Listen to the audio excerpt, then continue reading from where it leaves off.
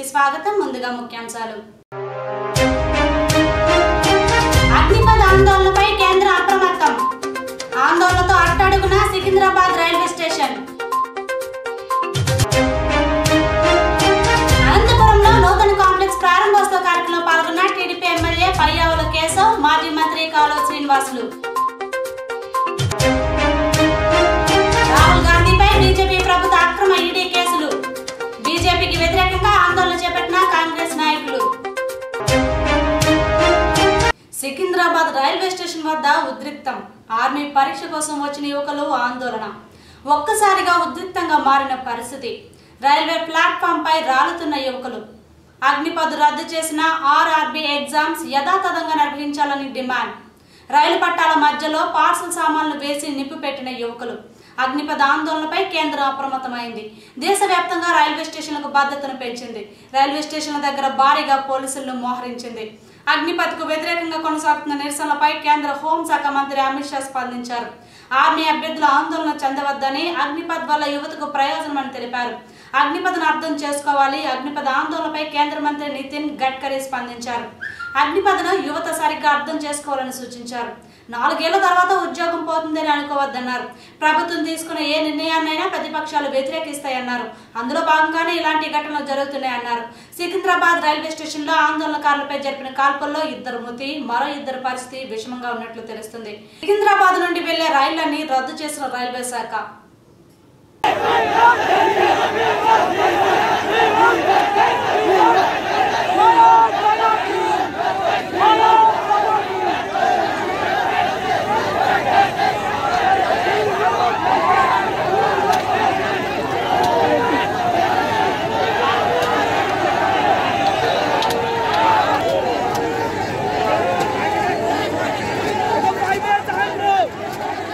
Bro, bro!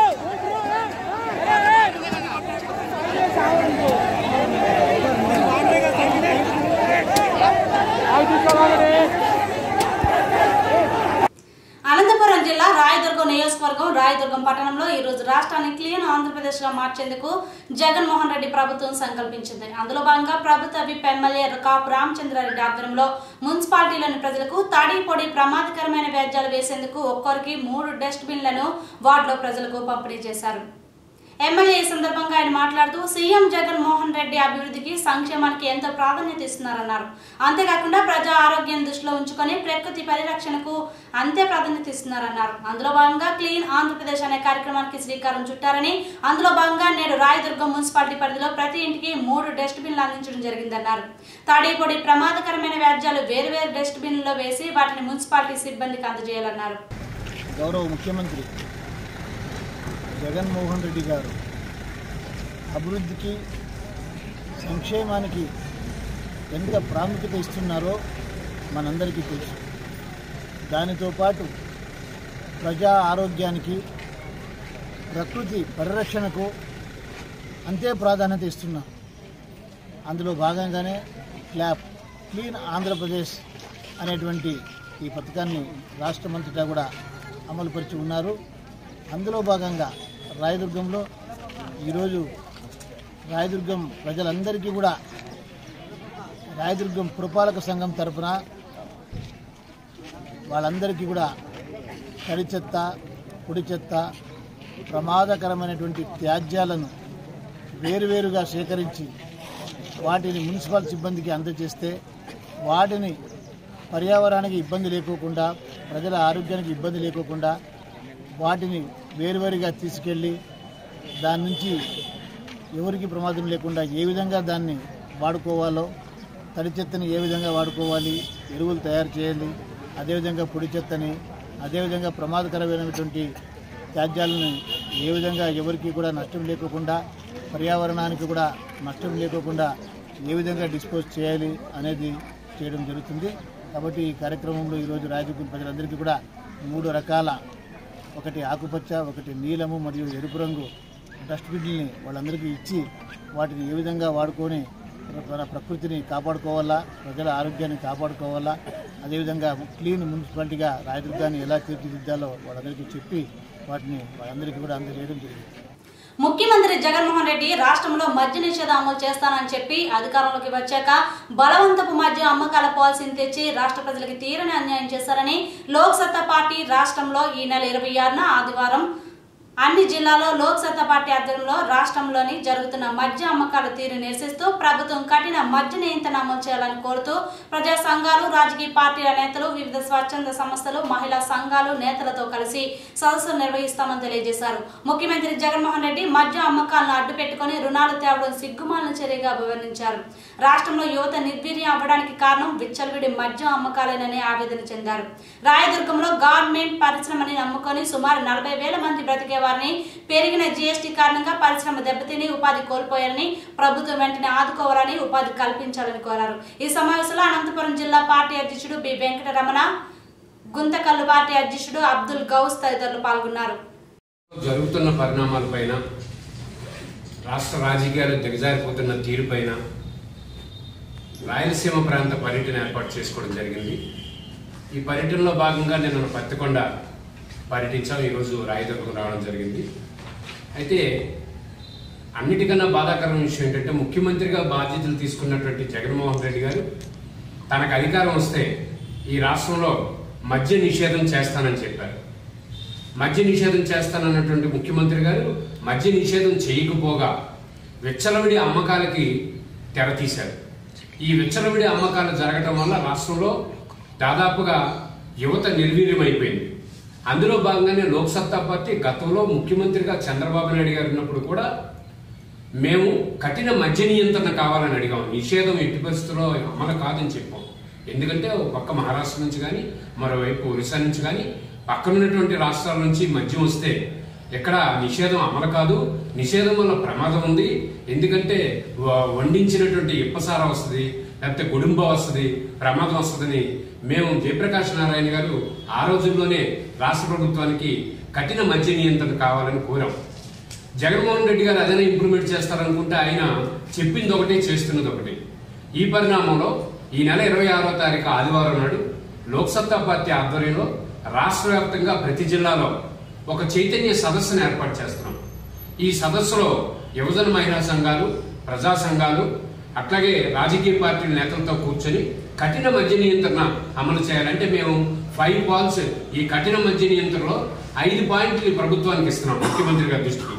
ఒకటి కఠిన మద్య నియంత్రణ ఏర్పాటు చేయాలన్నది మొదటి లైన్ అయితే దాని కింద ఐదు పాయింట్లో ఎక్కడైనా స్థానిక ప్రభుత్వాలు ఆ గ్రామంలో బెల్ట్ షాప్ కానీ లేకపోతే మద్యం షాపు కానీ రద్దు చేసే అధికారం కావాలని అడుగుతున్నాం. రెండు ప్రతి మండలంలో డిఎడిషన్ సెంటర్లు కావాలని అడుగుతున్నాం. మూడోది రాష్ట్ర ప్రభుత్వం విచ్చలవిడి మద్యాన్ని అమ్మకాన్ని ఆపేయాలని చెప్తున్నాం. ఉరవకొండ పట్టణంలో టీడీపీ నాయకుడు రాష్ట్ర నీటిపారుదల శాఖ మాజీ డైరెక్టర్ దేవినేని పురుషోత్తం నూతన కాంప్లెక్స్ ప్రారంభోత్సవ కార్యక్రమానికి ముఖ్య అతిథిగా టీడీపీ ఎమ్మెల్యే పయ్యావుల కేశవ్ మాజీ మంత్రి కాలువ శ్రీనివాసులు పాల్గొన్నారు. అనంతరం మీడియా సమావేశంలో మాట్లాడారు. వైకాపా ప్రభుత్వం కేవలం తమ అనుకున్న వారికి మాత్రమే పంటల బీమా ఇస్తున్నారని వంద శాతం పంటలు నాశనం అయితే కేవలం పది శాతం రైతులకు మాత్రమే ఇచ్చి మొత్తం అందరికీ ఇచ్చేసామని గొప్పలు చెప్పుకోవడం చాలా సిగ్గుచేటని అన్నారు. రెండు వేల ఇరవై ఒకటి ఖరీఫ్లో పన్నెండు లక్షల ఎకరాల్లో వేరుశనగ వేస్తే అందులో పది లక్షల ఎకరాల్లో పంట దెబ్బతిందని పంట దిగుబడి ఏమాత్రం రాలేదని శ్రీ పయ్యావుల కేశవ్ కాలువ శ్రీనివాసులు అన్నారు. పరిహారం రాని రైతుల కోసం వ్యవసాయ శాఖ కార్యదర్శి పూనం మాలకొండయ్య ప్రెస్ మీట్ పెట్టి వారి కోసం కాల్ సెంటర్ ఏర్పాటు చేస్తే ఆ నెంబర్ పనిచేయడం లేదని పయ్యావుల కేశవ్ అన్నారు. రెండు రోజుల నుండి ఈ నెంబర్కి రైతులు ఫోన్ చేసినా ఈ నెంబర్ పనిచేయడం లేదని సమాధానం వస్తుంది. కనీసం ఇప్పటికైనా ఇది సరిదిద్దుతారా? లేక ఇది కూడా ప్రజలు మోసం చేసేటటువంటి భాగంలోనే తాత్కాలిక ఆవేశం తగ్గించడం కోసం చేసిన ప్రకటనలాగే భావించాల్సి ఉంటుందా అని పయ్యావుల కేసు అన్నారు. మెజార్టీ రైతులకు తీరని అన్యాయం జరిగింది. రెండు వేల ఇరవై ఒకటి ఖరీఫ్లో పన్నెండు లక్షల ఎకరాల్లో వేరుశనగ వేస్తే దాంట్లో పది లక్షల ఎకరాల్లోని వేరుశనగ మొత్తము నాశనమైంది. పంట దిగుబడి ఏమాత్రము రాలేదు. దాదాపు పదిహేను వందల నుంచి రెండు వేల కోట్ల రూపాయల పరిహారం అందాల్సిన సమయంలో వేరుశనగకి నష్టపరిహారం ఇన్పుట్ సబ్సిడీ ఇవ్వడంలో జగన్ ప్రభుత్వం ఘోరంగా విఫలమైంది. ఇక్కడ ఈ జిల్లా యంత్రాంగం ముఖ్యమంత్రి ప్రభుత్వానికి లేఖ రాసిన ఏ రైతు ఎంత విస్తీర్ణంలో వేరుశెనగ నష్టపోయినాడో ఆ వివరాలు సేకరించడానికి అనుమతి అడిగినా కూడా ఇవ్వకుండా తీరని అన్యాయం చేసినాదు ఈ ప్రభుత్వం. ఐదేళ్ళలో చేసినటువంటి అభివృద్ధి వల్ల ఇవాళ ఉరవకొండలో స్థానికంగా ఏ రకంగా నమ్మకం వచ్చి పెట్టుబడులు పెడుతున్నారు అనేది స్పష్టమవుతుంది. బళ్ళార్లోనో బెంగళూరులోనో అనంతపూర్లోనో స్థలాలు కొనేది వదిలేసి ఇప్పుడు ఉరవకొండ మండలము ఉరవకొండ తాలూకా రైతులు ఉరవకొండలో పెట్టుబడులు పెడితే ఉరవకొండ వాళ్ళకి అవకాశాలు వస్తున్నాయి. ఇది అభివృద్ధి ఫలితాలు. రోడ్డు వేసుకుంటే ఏ ఒకరిద్దరు తిరగడానికి కాదు ఉపయోగపడేది. దాని ఫలితాలు పది మందికి పెరుగుతాయి. ఇన్సూరెన్స్ రానటువంటి రైతాంగానికి పదిహేను రోజుల్లోగా జాబితాలు సరిదిద్దుతామంటూ ముఖ్యమంత్రి గారు ప్రకటన ఒకవైపు నిన్న వ్యవసాయ శాఖ కార్యదర్శి పూనం మాలకొండయ్య గారు ప్రెస్ మీట్ పెట్టి మరీ చెప్పారు.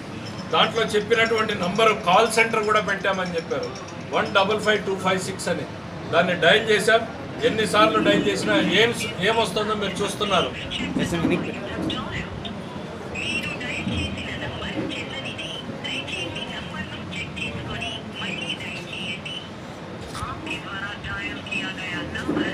ఇది గత రెండు రోజులుగా ఈ నంబర్ కోసం ప్రయత్నం చేస్తూనే ఉన్నాం. రెండు రోజుల నుంచి ఇదే రకమైనటువంటి సమాధానం వస్తుంది. కనీసం ఇప్పటికైనా దీన్ని సరిదిద్దుతారా? లేక ఇది కూడా ప్రజల్ని మోసం చేసేటువంటి భాగంలోనే ఆ తాత్కాలిక ఆవేశాల్ని తగ్గించడం కోసం చేసిన ప్రకటనగానే భావించాల్సి ఉంటుంది.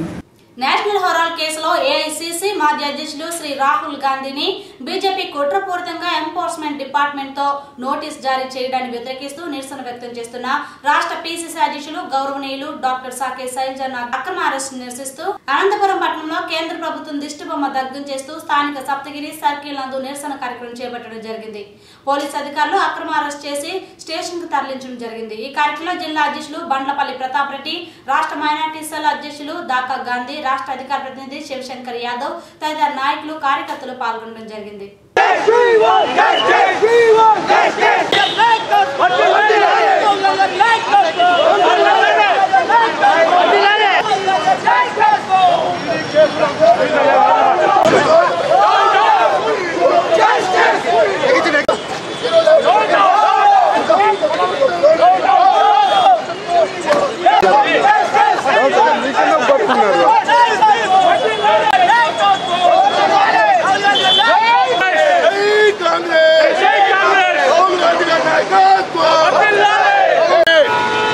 కేంద్రంలో ఉండే నరేంద్ర మోడీ ప్రభుత్వం ఎప్పుడో సమసిపోయినటువంటి రెండు వేల పదహైదులోనే క్లోజ్ చేసినటువంటి అక్రమ ఈడీ కేసు.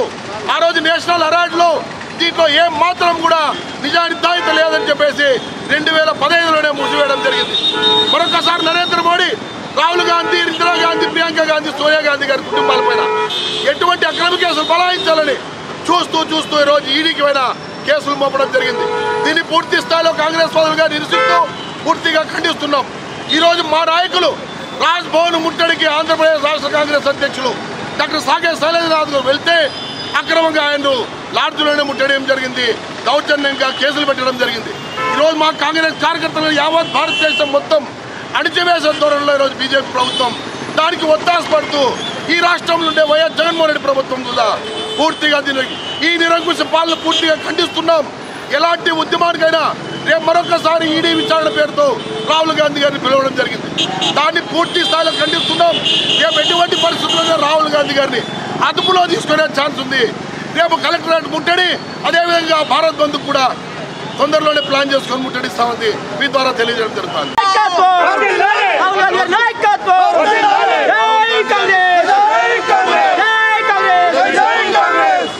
రాహుల్ గాంధీ గారిని ఈడీ గారు ఇష్టానుసారం కొద్ది దినదినం ప్రతిరోజు పిలుస్తూ ఉన్నారు. దీనికి నిరసనగా మేము ఆంధ్రప్రదేశ్ రాష్ట్ర కాంగ్రెస్ కమిటీ ఆదేశాల మేరకు అనంతపురం జిల్లా కాంగ్రెస్ కమిటీ నిరసన తెలియజేస్తూ ఉన్నాం.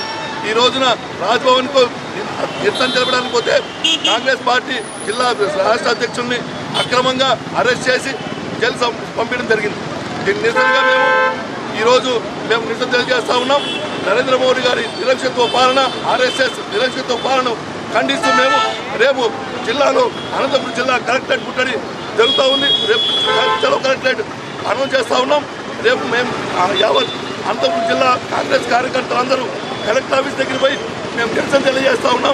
తిరుపతిలో జరిగిన విలేకరుల సమావేశంలో ఎగ్జిబిషన్ నిర్వాహకులు శ్రీనివాసులు మాట్లాడుతూ ప్రతిరోజు సాయంత్రం ఐదు గంటల నుండి రాత్రి పది గంటల వరకు ఓపెన్లో ఉంటుందని ప్రతి ఒక్కరికి ఆహ్లాదకరంగా ఉండే విధంగా ఏర్పాటు చేయడం జరిగిందని ఇందులో ప్రాముఖ్యంగా Dubai Burj Khalifa London beach Sri Lanka church Columbus break dance car ride water ride bike ride food courts మొదలైన ఆట వస్తువులతో మనసును ఆకట్టుకునే రీతిలో ప్రజల కొరకు సుందరంగా తీర్చిదిద్దడం జరిగిందని అలాగే ముప్పై సంవత్సరాలుగా మమ్మల్ని ఆదరిస్తున్న ప్రజలందరికీ ధన్యవాదాలు తెలుపుతూ ప్రతి ఒక్కరూ తిరుపతిలో జరుగుతున్న భువనేశ్వరి ట్రేడ్ ఫర్ ఎగ్జిబిషన్ సందర్శించాలని నిర్వాహకులు శ్రీనివాసులు ప్రెస్ మీట్లో వివరించడం జరిగింది.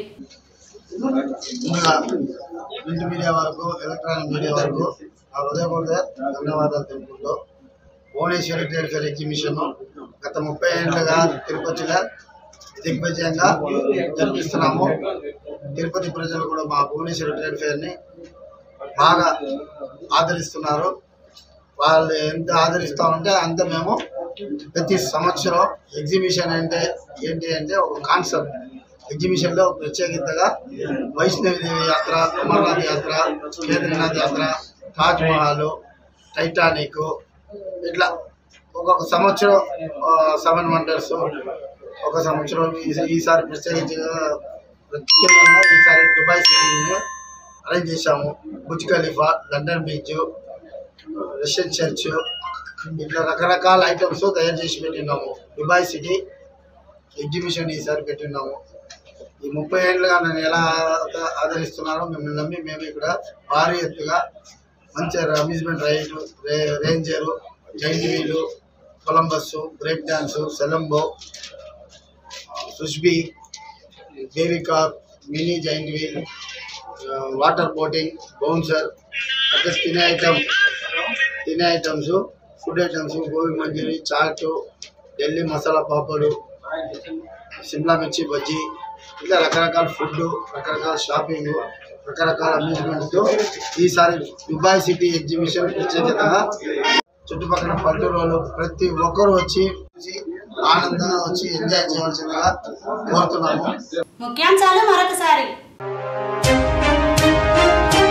అగ్నిపథ ఆందోళనపై కేంద్ర అప్రమత్తం. ఆందోళనతో అట్టడుగున సికింద్రాబాద్ రైల్వే స్టేషన్.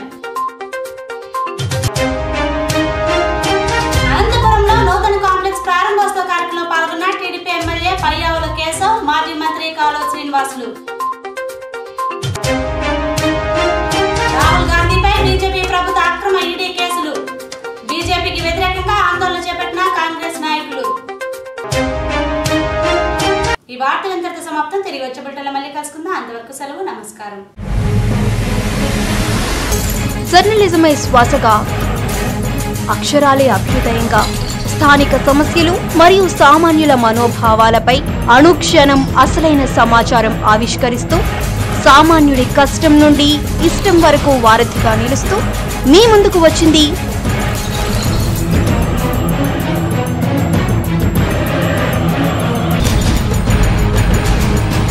మన టీవీ మనందరి టీవీ ఏపీ లోకల్ టీవీ.